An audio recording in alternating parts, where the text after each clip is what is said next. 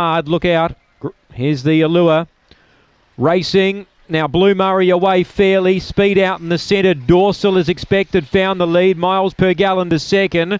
Now two and a half lengths away to Springvale Hope. Then came Blue Murray. Fourth the inside. Spots the leaders five.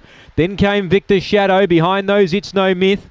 Then Rip It Ralph and last is Sweet Serenade. Dorsal off and gone on the home corner. Led by three. Trying hard miles per gallon. Then running on Springvale Hope. Dorsal getting tired. Miles per gallon's after it and got it.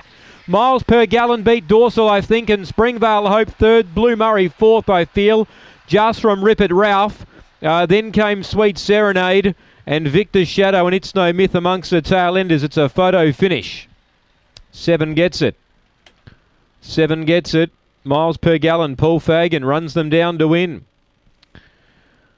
Uh, has run down the three dorsal. And one third Springvale Hope. Two fourth Blue Murray. Got a mile back. Couldn't pick them up. 30 and 10 the run. 446 early. 1684. And 13.26 on the way home. 7 3 1 and 2. It's a neck both ways. Good finish. A neck by a neck after race two on the card. 30 and 10 the run. We just await the all clear